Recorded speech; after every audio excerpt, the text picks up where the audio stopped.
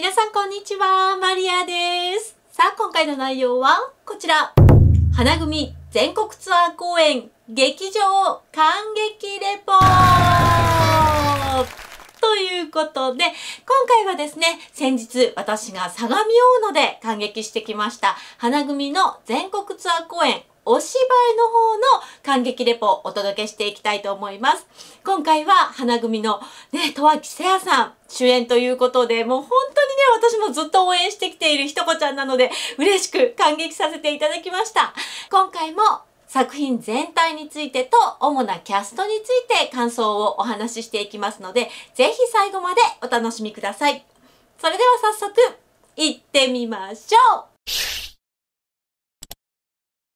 はい。ということで、まずはこちら。作品全体についてですね。で、劇場というね、作品はもう何回もね、再演されている作品なので、結構ね、ご存知のファンの方も多いと思いますし、また今回初めてこの劇場という作品を知ったというあのファンの方もいらっしゃるかと思います。で最初にこの劇場をひとこちゃんが主演で回る全国ツアーでね、再演するっていうことを聞いて、うわー、補正、ひとこちゃんにぴったりなんじゃないかなって、私はね、正直、うん、そう思いました。結構、え、ひとこちゃんと補正ってなんか結びつかないって言ってる方も私の周りでは多かったんですけれども、私の中ではすごくしっくりくるというか、あひとこちゃんで補正、うん、なるほど、わかるわかるっていう感じで、うん、すごく私の中ではしっくりと来てはいたんですけれども、まあ実際ね、どういう風に演じられるのかっていうのをとっても楽しみにしていました。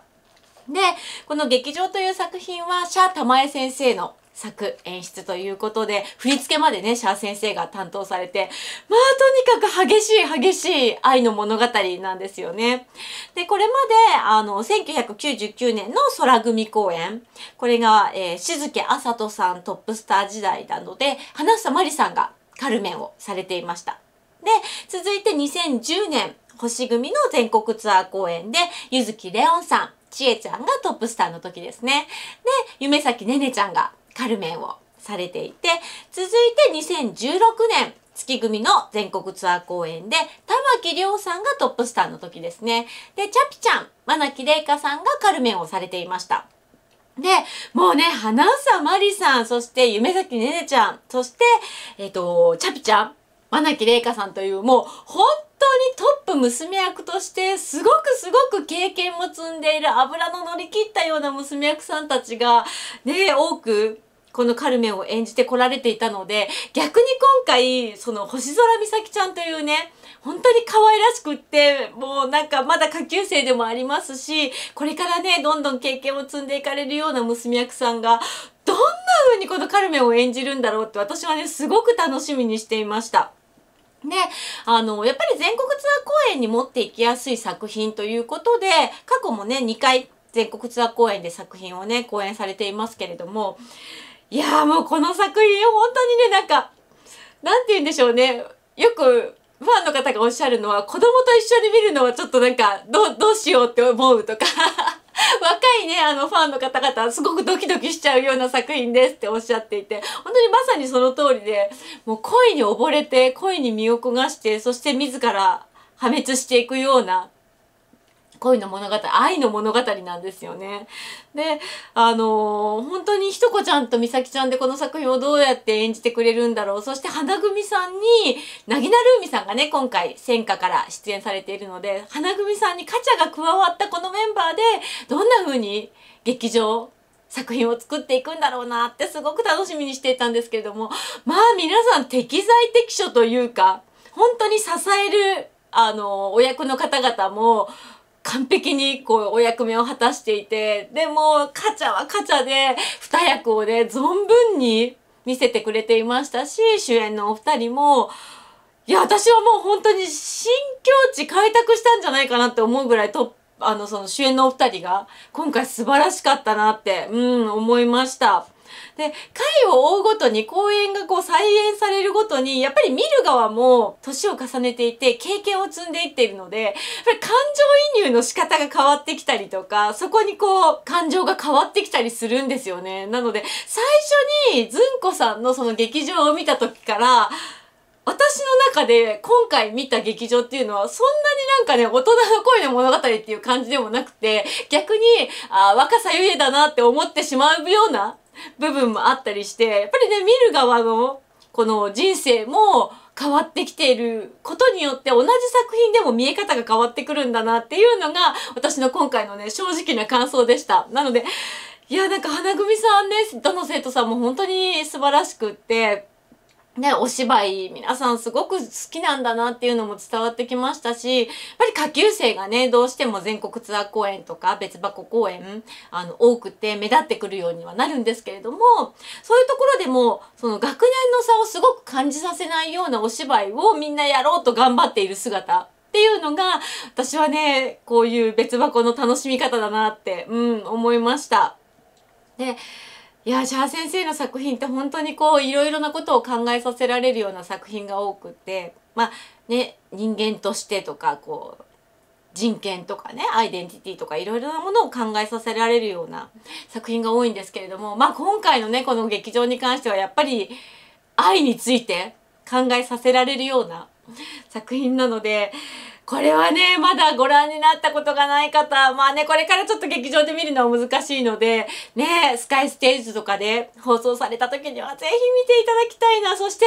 各その、ね、菜園ごとの各組の劇場を見比べていただきたいなっていうふうに、うん、思っています。私はすごく好きな作品で、この、なかなか娘役さんがここまで激しい役をするっていう作品が宝塚ではないじゃないですか。で、そういうところもまた娘役さんにとっては勉強になると思いますし、あの、ファンの方も新鮮な宝塚を見れるんじゃないかなと思うので、ぜひね、この劇場、本当に皆さんにたくさん見てほしいなって、うん、思いました。さあ、それでは、ここからは、各キャスト別の感想をお届けしていきたいと思います。まずは、モラレスを演じたのが、この方。ゆきダイヤくんですね。もうダイヤくん私は大好きだとずっとずっと言い続けていますけれども、今回ね、ダイヤくんは、あの、青年士官の役ということで、ひとこちゃん、とわきせやさん演じるホセの、あの、仲間の役なんですよね。で、まあ、ホセがね、追われるような立場になって、その、追い続けるような立場になっていくんですよね。で、仲間だった人間を追いかける側になってしまうっていうところで、こう、何でもないように見えて、実はふとしたところで表情が、その、なんか、葛藤というか悩みというか苦しみを出してくれるっていうところがね、ダイヤくんの目の演技の素晴らしさだなって私はね、思いましたね。で、今回もその、まあ、ひとこちゃんね、ホセが出てるところには大体出てくるようなお役にはなるんですけれども、本当に細かい演技をよくされていて、その表情の演技が素晴らしいなってまず思うのと同時に、モラレスとして出てくるところと、コロスのような形で出てくるところの演じ分けが本当に素晴らしくって、やっぱりダンスがね、とても得意な生徒さんなので、そのダンスでの表現の仕方、そしてお芝居できっちりと表現していくところ、そしてセリフでの表現っていうところが、ものすごくね、あの、的確に表現されていて、やっぱりね、新人公演主演を経て、すごくすごく成長していかれてるんだなっていうことを私は今回も感じました。もう本当に大学のお芝居大好きなので、これからももっともっと活躍してほしいって、うん、心から願っています。本当に今回もかっこよかったです。はい。さあ、そして、ミカエラを演じたのがこの方。さっきのみおんちゃんですね。で、今回、ホセの婚約者、まあね、言い名付け、田舎に言い名付けがいるというね、設定になっていて、その言い名付けの役をされていて、まあこれがザ宝塚の娘役っていうお役なんですよね。一途にホセを思い続けて、で、本当に、こう、清らかな女性という感じのね、ミカエラなんですけれども、もうさっきのみおんちゃんのね、その佇まいがまさに娘役らしい娘役で、で、お声も綺麗でね、歌声も素敵なので、いや、これはもうぴったりのお役だったんじゃないかなって思います。で、まあ、ホステのことを本当に田舎でね、お母様のことも見ながら一途に待ち続けて信じ続けているけれども、そのホセの心が離れていってからも、それでもホセを思い続けるっていうその女性の清らかさというかけなげさというかそういうところをね見事に表現されていましたね。うん。なので歌でね活躍されることが多い娘役さんなんですけれどもやっぱりこうやってお芝居もしっかりとねできるというところを見せつけてくれましたのでまたねこれからも本当に活躍してほしいなと思っている娘役さんの一人です。はい。さあそしてレメンダートを演じたのがこの方。一ノ瀬幸喜さんですね。で、今回ロマのね、お役ということで、あの、カルメンのね、仲間の役なんですよね。で、本当にね、花子ちゃんが、ぐっと男ら男らしくというか、男役らしくなったというか、本当にかっこよくなりましたよね。今回見ていて、なんか、やっぱりね、一段とシェイプされたっていうのもあるとは思うんですけれども、メイクも本当にロマの男っていう感じで、熱い男っていう感じのメイクにこだわっていましたし、その役の作り方も本当に男らしく、熱い感じを出していて、なんか、花子ちゃんってどうしてもほんわかとしてて優しい雰囲気でっていう風に思われがちなんですけれども、今回のお役でもうね、一段とね、こう男をあげたなというか男役度が増したなって私はね思いましたね。なんか私の周りでも本当にそういう声がよく聞かれていて私のねあのメンバーシップの図鑑オタクラブのメンバーさんたちも「花子ちゃんかっこよくなりましたよね」って皆さんおっしゃってたのでみんなねやっぱり思うところは一緒だったんじゃないかなって思いました。やっぱりねロマの男らしくうん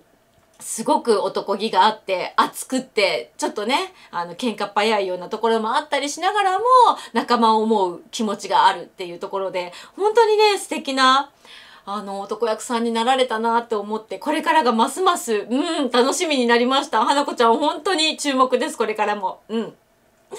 さあそして段階レを演じたのがこの方。穂積真弘さんですね。で、ホッティが、まあ、いわゆるね、ロマンの中でも、まあ、ちょっと位が上で、その、カルメンが踊っているお店の店長をやっているようなお役なんですよね。で、今回もうあのイケメンのホッティが顔中にね、こう髭をね、しっかりつけて蓄えて、で、仲間の兄貴分としてみんなを引っ張ってる姿が本当にかっこよくって、で、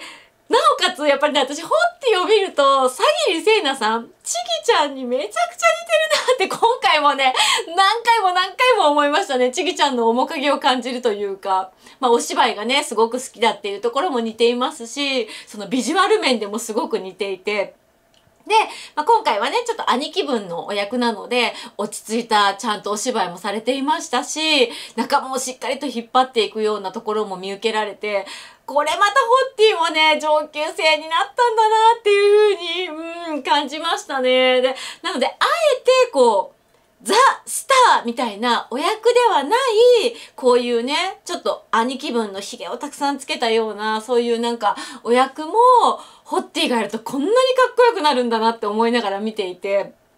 なんか、すごくすごく、その男役としての穂積真弘さんの成長も感じましたし、役者としてのなんか引き出しの多さにもちょっと感動しました。うん。なので、どんどんきっとお芝居が好きになっていって、どんどん引き出しを増やしていってるんだろうなって思いますので、かっこいいだけのホッティじゃなくて、今度はもっとなんかね、あの、役者として役を楽しめるような役に出会ってそれをまたね私たちに見せてほしいなってうん思っています。もうビジュアルが美しいのはね100も承知なので本当になんかいろんな役が見たいなっていうふうに思いました。素晴らしかったです。はい。さあそしてエスカミーリオを演じたのがこの方綾木ひかりさんですね。で赤さんがねカルメンに愛を注ぐエスカミリオ、闘牛士をね、今回演じられて、まあ、かっこよかったもうこれぞ宝塚のザ2枚目の役っていう感じのね、役ですよね。で、本当にこの役を一点の曇りもなく赤さんがまっすぐに、あの、エスカミリオと向き合って、あの、表現されていたんだろうなっていう感じがして、まあ、なんかね、あの、どこも悪いところもなくって、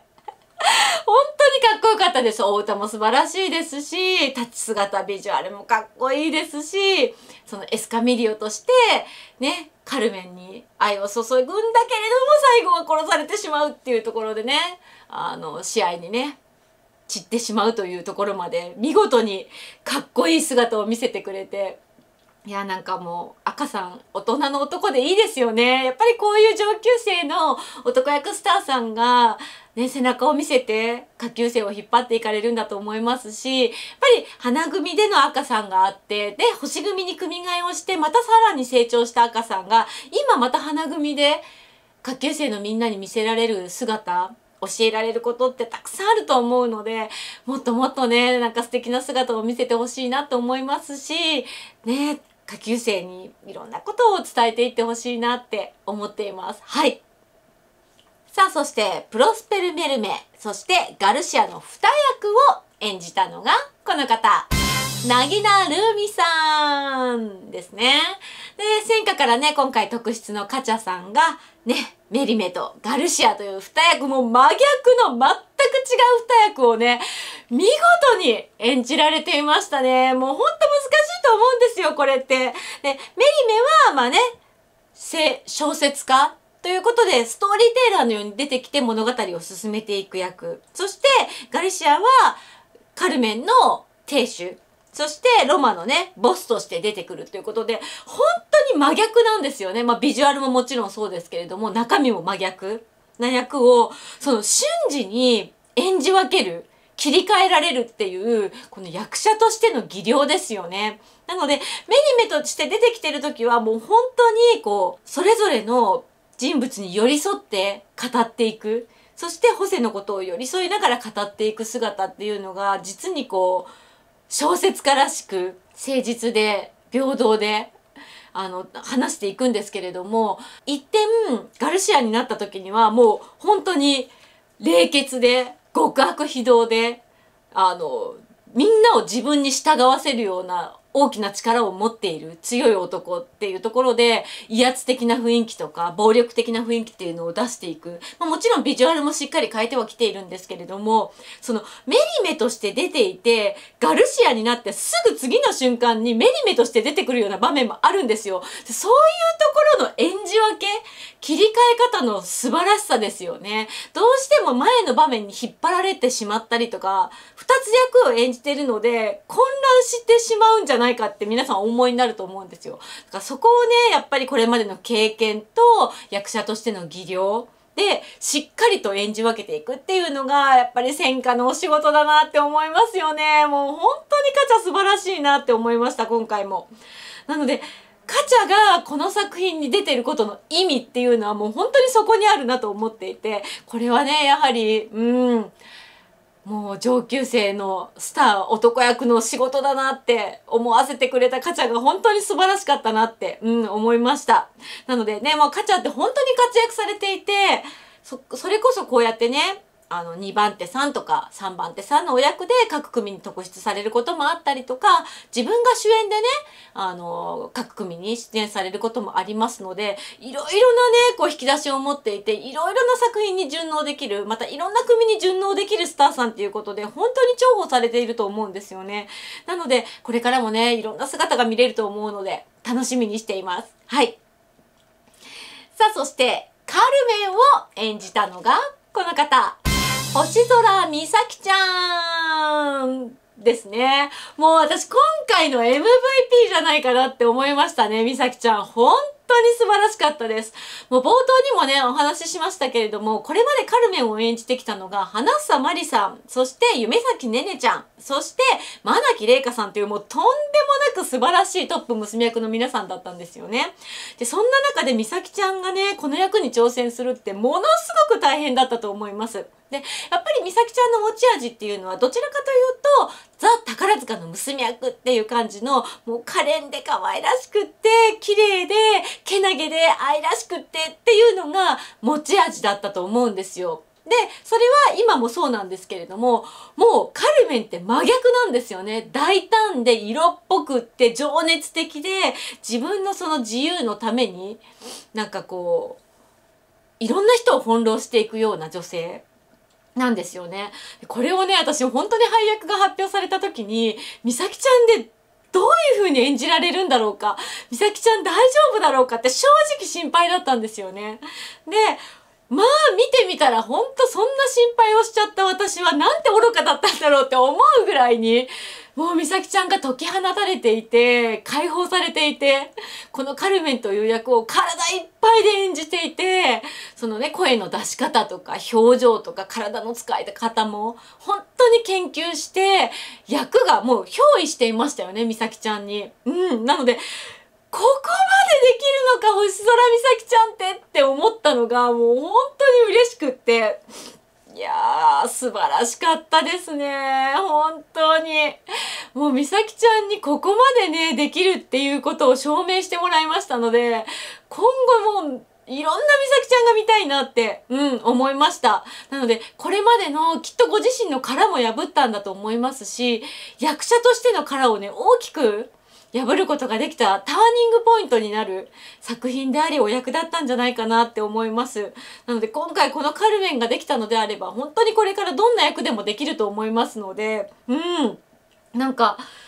ねえ、あんな役も見たいな、こんな役も見たいなってなんか私の中で、うん、いろいろな希望が膨らんできました。ひとこちゃん、戸脇せやさんとの並びもめちゃくちゃお似合いで、冬休みのパリの頃から本当にお似合いだなって思っていたので、いや、今回もね、またね、素敵な並びで、お二人のね、情熱的な愛の世界を見せてもらえて楽しかったです。とにかく、とにかく今回の星空美咲ちゃんすごかった。うん、もうまさに MVP だと思いました。本当に感動しました。さあ、そして、ホセを演じたのが、この方。戸脇せやさんですね。で、ドン・ホセというね、この役を今回、戸脇せやさん、ひとこちゃんが全国ツアー初主演ということでね、あの、演じられましたけれども、ね、これだってこれまで、鈴木あさとさん、ゆずきレオンさん、そして玉木亮さんというね、各トップスターさんが演じてこられた役で、でも本当に難しいと思うんですよ。なんか、こう、なんて言うんでしょうね、正義感に燃えて役職を果たすために生きているようなこのホセという人間が、愛のために落ちていく姿、苦悩していく姿、葛藤していく姿っていうのを多く見せる場面があって、で、その、自分の意志と関係なく愛に引っ張られていく男。そしてのめり込んでしまって自分を抑えられなくなってしまう男の苦悩っていうのを本当にひとこちゃんが見事に演じていてもうね私ねひとこちゃんが苦悩する姿葛藤する姿悩み苦しんで落ちていく姿っていうのがもう大好きで こういうなんかドラマチックで哀愁を帯びるようなねなんか役が似合いますよねひとこちゃんってね。その表情といいもう持っている空気感といいまとっている雰囲気といい。なんかそういうのがとても似合う男役さんでもちろんね陽の雰囲気ももあの持っていてそういうお役もきっちりと演じられるんですよ。それこそこの間のね、おしどり歌合戦でもそうでしたけれども、だからあそこからのもう振り幅ですよね、今回のドン・ホセのね。なんかこういうね、お芝居をさせたら本当にピカイチだなって思いましたし、そのカルメンのね、やっぱり美咲ちゃんとの絡み、お芝居の掛け合い方っていうのも、とってもとっても二人がぴったりで、息がぴったりで、すごくすごく2人で合わせて練習を重ねてきたんだろうなっていうのも思いましたしやっぱりお二人がその舞台に立って公演が始まってからもどんどんどんどん進化していかれてるんだなっていうのを私は感じました。うん。なので、一回ごとに進化されてるんでしょうし、一回ごとにその役がどんどんどんどん自分の中に落とし込まれていって、ドン・ホセとその戸脇せやさんっていう役の境目っていうのが多分分からなくなるほどご自身で演じて憑依されてるんじゃないかなって、うん、思いましたね。なのでとっても素敵でなんかそカルメンにのめり込んで落ちていくそんなホセに私たちは魅了されてしまうっていうか心をわしづかみにされてしまうというかもうそんなホセがたまらなく好きでこちらが落ちてしまうというか そんな風にね、思いながら見ていました。うん、なので、ね、やっぱりこれもまたひとこちゃんにとって、とてもとても大きなターニングポイントになる公演だと思いますので、ね、これから責任ある立場になっていかれるスターさんなので、本当に楽しみにうん、応援していきたいなと思っています。はい。回は花組全国ツアー公演お芝居の劇場の方ですね。はい、感激レポお届けしましたけれども、いかがでしたでしょうか？この動画が面白かった、役に立ったと思っていただけたら、グッドボタンを押してもらえると、私も励みになります。よろしくお願いします。それでは、今日の動画ここまでとなります。皆さん最後までご覧いただいてありがとうございました。また次回の動画でお会いしましょう。バイバーイ